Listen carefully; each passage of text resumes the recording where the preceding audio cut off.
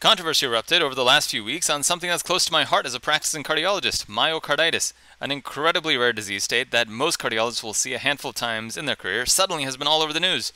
The most recent kerfuffle started where all kerfuffles start these days on Joe Rogan. Joe was interviewing an Australian media personality named Josh Szeps for some unknown reason, and the subject of some of the COVID 19 vaccines causing myocarditis came up.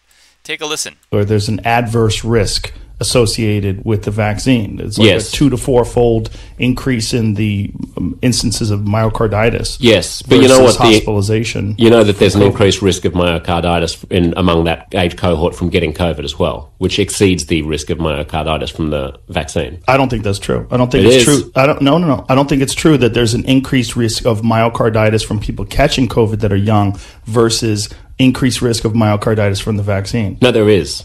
There's both. Pro- Well, let's look that up because I don't think that's true. There's been- myocarditis more common after COVID nineteen infection than vaccination. But is this with children?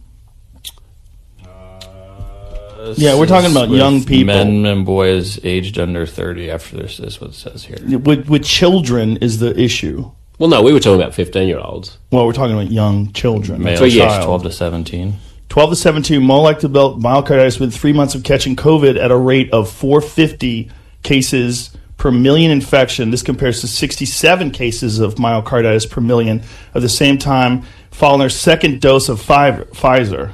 Yeah, so you're about eight times likelier to get myocarditis from getting COVID than from getting the vaccine. That's interesting. Now, that that is said- not what I've read before, but also it's like. When, even when we're reading these things, it's like, what are we getting this from? Was this from Well, the it's the VAERS Scientist. So this doesn't sound very good for Joe. He tried fact-checking something in real time and found the opposite of a strongly held, of, of his strongly held belief. And it sounds uh, a little more legitimate, legitimate than your uncle's ranting on on Facebook.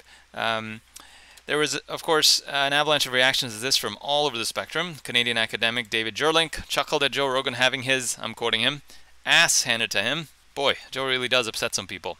Must be doing something right. And there was, of course, pushback from the sources that Joe's comments came from, because Joe's comments just didn't come out of nowhere. Uh, apparently, Josh Szeps's Twitter feed has been full of people pushing back, saying Joe was actually right. So Mr. Zepp, who understandably doesn't want to go read every myocarditis paper in the time of vaccines, tried to respond by going down the myocarditis rabbit hole, as he calls it. He smartly sought out the best informed cardiologist on the matter from the Cardiac Society of Australia. As he says by tweet, as non experts, we should defer to expert consensus, not seek out dissidents who confirm our biases. That sounds well and good. Um, okay, but a quick aside here. What if you're the type of person that seeks to have their biases confirmed by authority? Well, then, expert consensus did, after all, hold for some time that the Earth was the center of the solar system. A layperson at the time that listened to Galileo's argument and liked it more than the other one, uh, where in history should we put him relative to the mass of consensus worshippers? Anyway, the whole thing is a bit amusing because if Josh's views on myocarditis come from the consensus expert opinion, I, I disagree. Um, isn't getting a consensus expert to confirm that opinion in some way confirming a bias? Actually, I take that back. It's worse. Media personality amplifies a view of some authority figure. When challenged, media personality brings representative of authority to confirm what he was amplifying. All seems a bit circular to me. But I'm actually far more curious to find out who the greatest cardiology mind in Australia is anyway. Cardiologists don't regularly meet in octagons in the UFC to figure this stuff out the way MMA fighters do. Dana White, if you're interested, let me know. I've been working out recently. Well, it turns out the greatest cardiology mind in Australia to answer this question is a guy named Raj Puranik. Raj Puranik, consultant cardiologist and associate professor at the Royal Prince Alfred Hospital. At this point, I'm sure everyone is wondering if there's a global conspiracy by Indians to infiltrate all of cardiology globally. I mean, I don't know Australia at all, but I gotta say, I did not expect Aussie cardiologist Raj Puranik. I was more expecting this guy. Obviously, I spent my formative years in the 80s. But anyway, here's Dr. Puranik, love the Aussie accent, with his thoughts on how myocarditis, COVID, and the vaccines work. I think it's really important to set the scene here and talk about what um, myocarditis means in the context of COVID more broadly, because as you said, the research focuses very much on specific questions and answers to specific questions. COVID itself presents to your body a protein it's never seen before, which is the spike protein. And as part of your body's response to that spike protein, you will induce inflammation in your chest, which is why people have an upper respiratory tract infection, a lower respiratory tract infection, and sometimes that inflammatory process can spread across to the lining of the heart or even the heart muscle. So the vaccine itself, when people say it's vaccine related, what's happening is that the mRNA vaccine enters your body, it disappears in a in a in a couple of days or even within um, hours, really, and it turns on your own body's machinery to produce this protein that is foreign to your body, and then your body responds to it. So the really important issue here is that if you developed myocarditis after a vaccine, were you to have seen this protein from COVID itself, it could have killed you. It would have been could have been lethal at the doses of virus and spike protein generated by the infection. Right. So, so Dr. Puranik believes that those who get myocarditis with the vaccine were more than likely destined to get myocarditis with COVID. From what I can gather, his assumption is that the spike protein that's presented to the body by the vaccine gets into the heart muscle, and that may be the genesis of the problem. Since the amount of protein induced to be made by the body is much less than what may be presented to you with meeting SARS CoV 2, which is the virus that causes COVID, out in the wild while deer hunting, lots of deer apparently have been found to have COVID, it's better to get the vaccine. This is really interesting because Dr. Puranik never tells Josh that this is actually just a theory and far from the consensus opinion. The consensus from certain authorities may be that the risk of myocarditis from COVID for all ages exceeds the risk from the vaccines. But what we're trying to gather here is how the, how the authorities came to that opinion. Dr. Puranik gives us one theory to support the consensus view, but to be clear, the mechanism outlined here, while plausible, is speculative and not supported by a number of different data sets. If this theory was true, it would, of course, be the case that whatever rate of myocarditis one sees with the vaccines, the rate of myocarditis seen with COVID would be multiples of that. Yet, what's readily apparent is that there is a very different rate of myocarditis seen based on type of vaccine and based on age and sex. And certainly, a number of data sets suggest that for young men, the risk of vaccine myocarditis is higher than the risk of COVID myocarditis. There's a slightly more in depth dive on this coming a little later. Josh, to his credit, Josh uh, Szeps, uh, the uh, Australian media personality who was interviewing uh, Dr. Puranik, to his credit, pushes him on this and asks him why, here I'm paraphrasing, if this is so obvious per your putative mechanism, some countries have recommended young men not get the Moderna vaccine. Like, why is that? Raj at first doesn't answer by talking about vaccines and the benefit of vaccines reducing risk of hospitalization and death in the general population, uh, which they do. And then, when he starts to talk about COVID risks to children, something really interesting happens. Take a listen.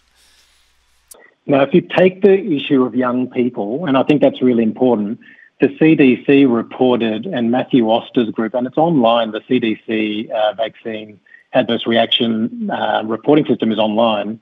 They had um, their under 30 data presented in December. Now, remember, in the United States, and you were making a really good point here, 5 million children up to about December had had COVID and there were 500 deaths. This is not a benign condition. That's one in a thousand. Okay, so this is not a benign uh, condition. It, it is true that children may do better with COVID, but that's still 500 deaths that didn't necessarily need to happen in unvaccinated people. Now, the issue about Wait, sorry, vaccination. But, sorry, just to clarify, that, that's 1% of 1%, right? It's one ten, ten thousandth, isn't it? 500 into 5 million cases? That's right. So one, one in a thousand. One in 10,000. One in 10,000, rather. Sorry. Yeah, Sorry, yeah. Right. I mean, it's a, and I would imagine that there are more than 5 million cases of children in getting COVID, in, I mean, getting the infection, like in the United States, if there are 330 million people. But anyway, I, I take your point. It's not completely harmless, but. Yeah. But I also want to grant. I want to grant to the uh, you know to the sort of more vaccine hesitant people that uh, sure. the the risk of uh, of mortality from catching COVID if you're you know under the age of twenty is uh, vanishingly low. So the cardiology expert brought on to talk about myocarditis is bringing up risks of COVID to kids and gets the rate of death off by a factor of 10 initially. He has to be corrected on this by a media personality who has a talk radio show.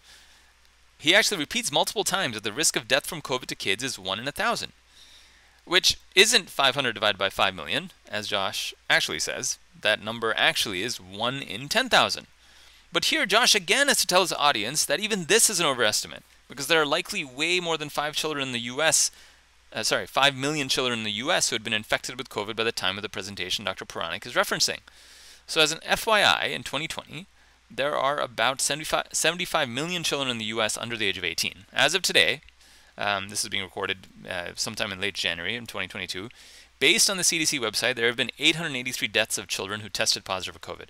If we conservatively assume that 60% of children less than 18 have been infected with COVID by now, um, you know, pa- a pandemic that's been going on for two years with large multiple waves and multiple and all over the uh, country, that's 883 divided by 45 million, or two out of 100,000, approximately two out of 100,000, two per two per 100,000, and that's of course assuming every child who tragically died died from COVID.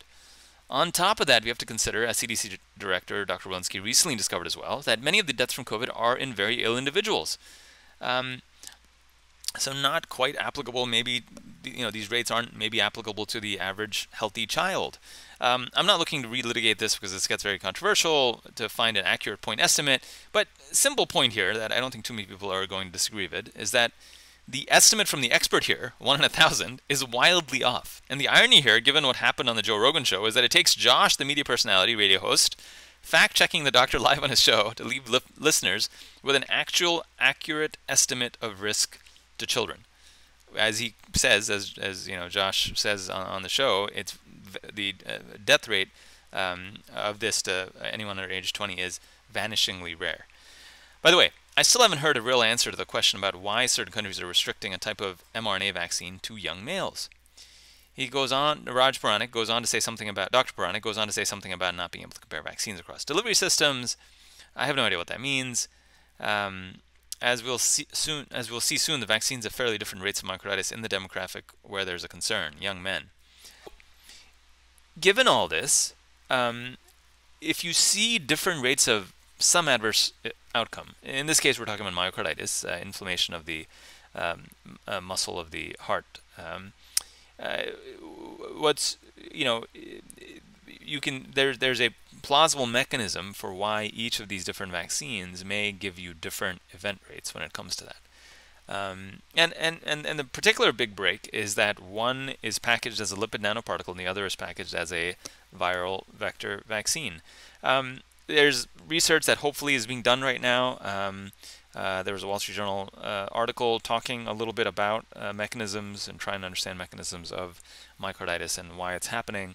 Nobody quite understands why. These are all, you know, speculation in terms of saying, okay, these are how the vaccines differ, and maybe that's why there has something to do with why the mRNA vaccines have a higher rate of myocarditis than, say, the viral vector vaccine.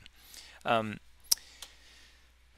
so I would ask Dr. Puranik again, why, pray tell, we can't compare these different vaccines against each other when we're measuring a common outcome? There are certainly mechanistic reasons not to consider these three vaccines to be the same. So, you know, removing the efficacy ar- argument, which, as I've alluded to with my, you know, back of the envelope calculations in terms of uh, how risky this is to, to, to children, um, you know, uh, when you when you take out that efficacy argument because it seems hard to say it's a slam dunk in healthy children.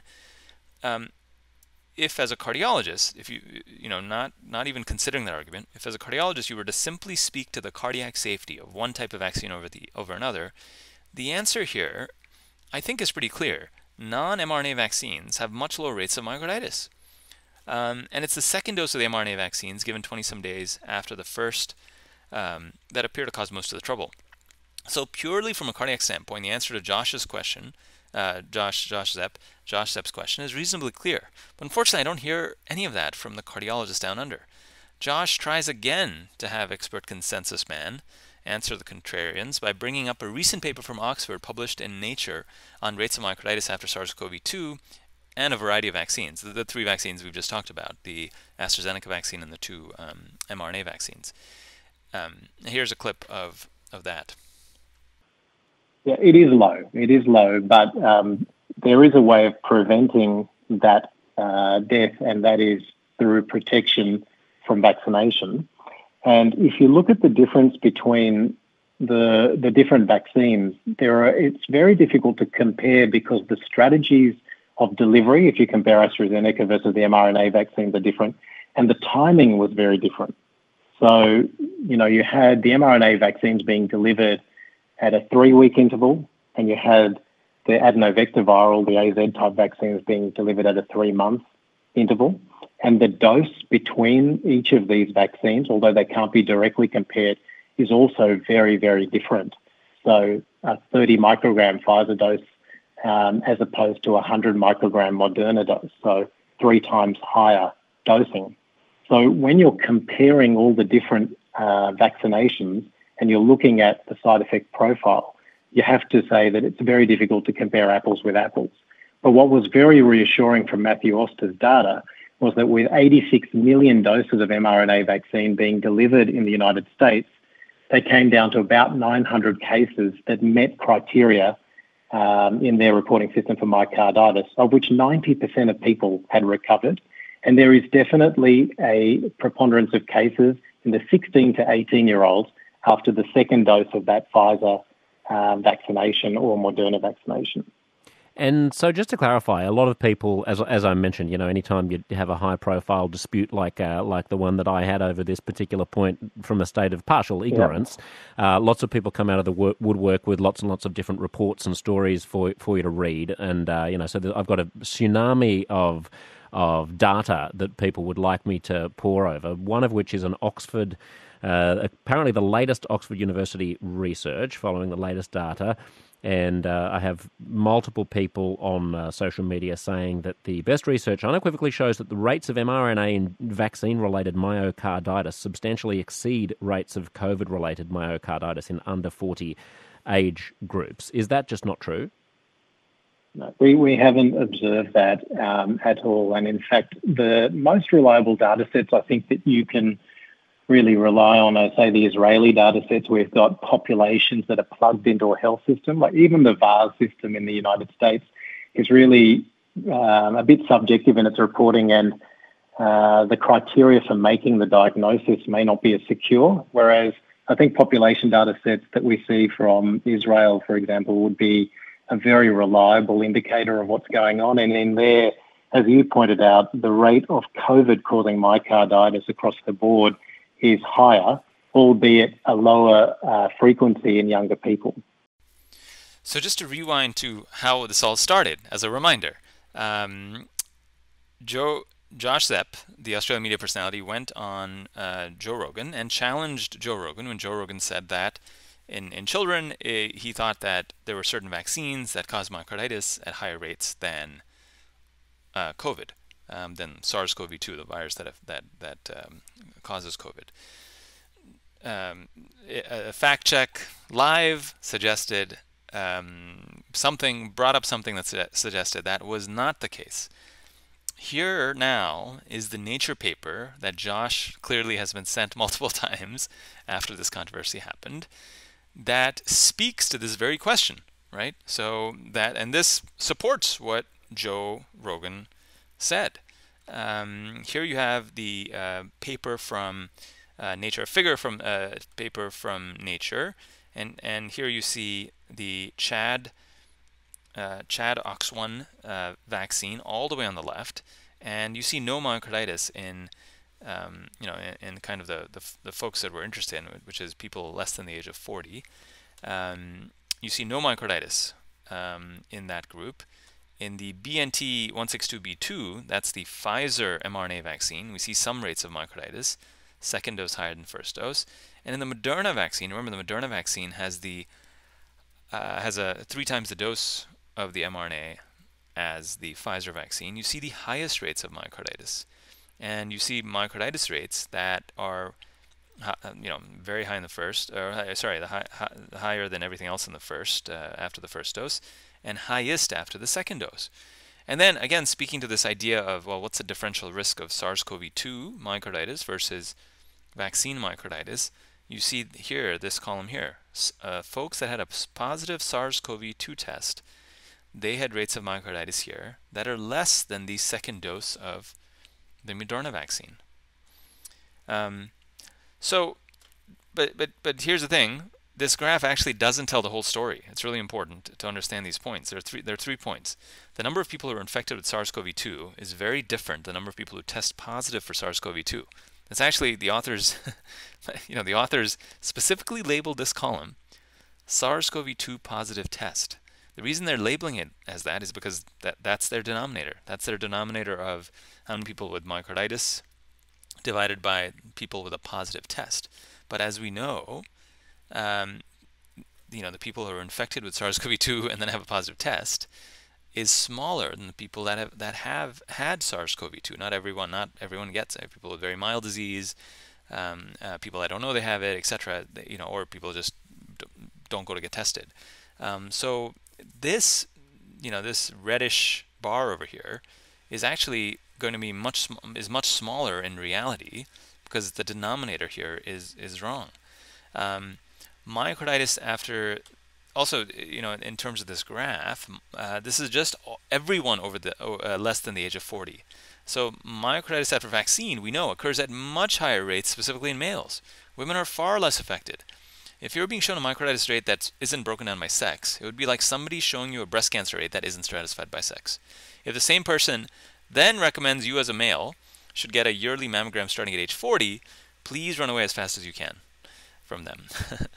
the third issue is one that I haven't seen mentioned very frequently, um, and therefore maybe slightly controversial. But you know, uh, against my, um, uh, I'm, I'm not from the Royal College of uh, of, uh, of anywhere really. I'm a cardiologist, so my suspicion as a clinical guy sees a lot of patients is that the vast amount of myocarditis being picked up after, after SARS-CoV-2 infection is restric- restricted to myocardial injury that happens in severely ill patients, as opposed to the classic myocarditis, which cardiologists typically have considered to be patients showing up with chest pain or heart failure, who are then found to have a viral or immune-mediated process affecting the heart. Obviously, I think the best strategy is the one that avoids getting you critically ill. Um, and for the vast majority of adults, the vaccines to SARS-CoV-2 have seemed to work well in reducing the risk of ending up critically ill. Um, but again, that's really not the point of contention. Um, comparing, you know, comparing the vaccine myocarditis, which generally afflicts young boys and men, involves, you know, these young, otherwise healthy folks presenting to the ER with severe chest pain and leaking cardiac enzymes. Comparing that group to the average patient critically ill in an intensive care unit is, is really comparing apples to oranges. And no, this does not mean there are no perfectly healthy 25 year olds that don't end up severely ill on ECMO, you know, basically some massive type of life support where you know you're taking over the function of the heart and lungs for the, the patient. It's just that the average person critically ill in the ICU leaking enzymes from their heart is 75, has had a prior heart attack, kidney disease, and diabetes. Um, so these are you know sick people to begin with that leak some en- leak enzymes when when they're critically ill from from anything. Um, what isn't happening in any tsunami-like fashion, as is sometimes implied, as is sometimes implied, in the discussion is either the 40 year old man coming in with an acute COVID infection and chest pain, or even the 75 year old aforementioned with heart disease, kidney disease, diabetes, presenting with an acute SARS CoV 2 infection that's primarily affecting the heart. That, that we're not seeing happening in any massive, massive rates. That happens, but it's incredibly rare. So, not only is the denominator wrong in that Nature paper, I'm pretty sure that the numerator is an overcount because myocarditis is being overdiagnosed. Um, it's not the traditional myocarditis that cardiologists you know see see rarely. Um, in a follow-up preprint, the authors do actually go back and do this race and age stratified, and uh, you know add race uh, to, uh, to, to, sorry not race, add gender to the mix. So an age sex stratified analysis, and sure enough, even with the numerator and denominator for SARS-CoV-2 infection still screwed up, right? Um, myocarditis after the second dose of Moderna is multiple times the risk of myocarditis after a SARS-CoV-2 test. And actually, um, the again the risk of um, of uh, myocarditis after a SARS-CoV-2 infection in men less than the age of 40 is is you know less than is probably less than you know uh, the, the, a third dose of Pfizer, a second dose of Pfizer, um, and maybe even a second dose of um, of the um, uh, AstraZeneca vaccine. So you know we have to be careful because of error bars here and uh, what but but there's there's no question that you know error bars are not you know second dose of Moderna seems to be um, much much much higher risk for myocarditis than after getting a SARS-CoV-2 infection. Remember this red bar would be much smaller because that denominator needs to be bigger and that numerator uh, is probably uh, uh, not reflective of SARS-CoV-2 primarily in infecting um, the hard. That's my that's my bet. Um, I'll also point out. So therefore, um, you know, and this has been known for some time. This is not something that just came up now in 2022. Um, you know, this is from October of 2021. Um, a headline that shows that um, Finland joins Sweden Denmark in limiting Moderna COVID-19 vaccine to young men. So, you know, I, I, I, uh, vaccinate everyone strategy, which is which is controversial for its own its own reasons at the very least should involve recommending a non-mRNA vaccine in young men, or maybe exploring in a study if myocarditis rates are lower with a delayed second dose, or maybe even study the effectiveness of a one-dose mRNA strategy in healthy young boys and men. This, by the way, this exact thing, meaning we should explore different approaches to vaccination, this exact concept um, is mentioned by the authors of this Nature paper. Um, so again, I think the risk-benefit of vaccines in young people is is is is is a is is a challenging discussion that brings to bear other many other issues than what we're talking about here. Um, but you know, I don't think it's as easy as I think some um, uh, would would like it to be if you take away this idea that oh my goodness SARS-CoV-2 causes myocarditis at multiple times the rate of the vaccine, it, that does not appear to be what the totality of evidence is really is, is certainly is showing. So you know, to his credit, Dr. Puranik does go beyond what does go beyond what he's observed um, in Australia to rebut the Nature study um, by noting that he thinks Israel has better data than the UK. I'm not entirely sure why that is, because the UK has a socialized government-controlled system on a small island which means that they don't have hundreds of different electronic medical records like we have in the US to lose people in. There are all sorts of problems that have with the UK's medical system, uh, but not having a good centralized record keeping system isn't one of them. Um, but there's a problem with what Dr. Puranik is saying uh, with regards to the Israeli data. Um, I assume Dr. Puranik is referring to Israeli data from September 2020 by Barda et al., um, this was a study that looked at myocarditis rates 42 days after the first dose of vaccine and compared it to myocarditis rates in a matched group of uh, unvaccinated persons. So they had to go match. Uh, anyway, they, they, required some statistical um, statistical statistical approach to get uh, to, to figure out what the rate of myocarditis was between vaccinated and unvaccinated. All right, um, but but beyond beyond the fact that it wasn't just a straight comparison of unvaccinated and vaccinated, and that you know it's the study's major issue is that there's no age and sex stratified analysis provided. Like I already told you, the whole point of contention is should we be doing this in young men? You know, and that's what that, that that's where some, you know a lot of this started in. Uh, that, that's where this you know initial whole uh, debate started. Um, so the contentious issue we're most, inter- we're most interested in, and why Dr. Puranik is on the show, does you know, um, this paper that he's bringing up to to you know buttress his argument, it does not relate to risks and benefits of vaccine um, in young men. Um, so you know, this paper that Puranik is referencing doesn't give us the information that we want, which is okay. What's the oh, in the Israeli population, because I, I guess they're better record keepers than the UK. Um, uh, what is the you know are we seeing the same pattern in Israel or, uh, you know uh, versus the UK and it would be a big deal if we didn't see it in Israel but we did see it in the UK because okay that raises a significant problem. Maybe there's something weird going on in the UK um, but you know we know anyone who's following this knows that the original reports of myocarditis the reason we're even doing this the reason the uh, the UK did this study you know uh, a few months ago was because this was first noticed. The myocarditis uh, rates in young men was first noticed in Israel by researchers um, at Hadassah, at Hadassah, one of their uh, medical universities, by Dr. Dror Mevorach. Um, so he examined myocarditis rates by age and sex after the Pfizer vaccine, right? I mean, this was not done by his by his col- by his other Israeli colleagues, you know, Dr. Barda and company. Um, Dr. Mevorach and colleagues, when they looked at this by um, age and sex, voila, the rate of myocarditis in vaccinated young males is eight times that of unvaccinated young males. Um, so this is again an Israeli data set. You know, the, the better than the UK, according to Dr. Dr. Puranik. And I'll, I mean, I'll, I'll read. I'll, you know, if you don't believe me, I'll read the exact uh, sentence from his paper, from Dr. Mevorach's paper.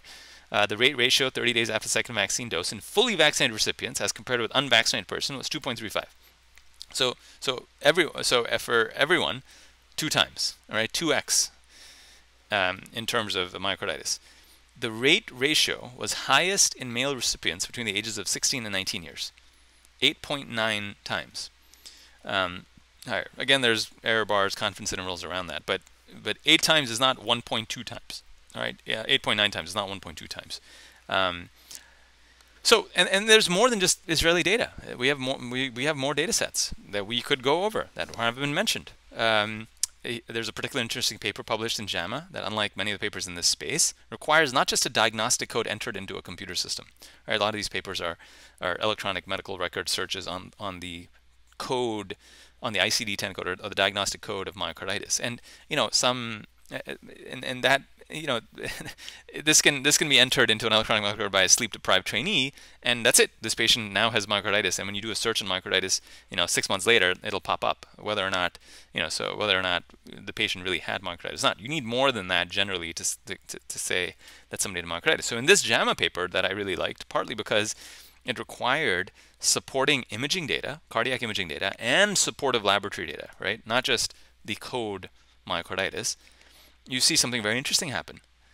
There's no spike in this in this study from JAMA. There's no spike in myocarditis rates until um, you know around March, you know February March of uh, 2021, which is after the which is you know um, about whatever uh, which is after the vaccine rollout.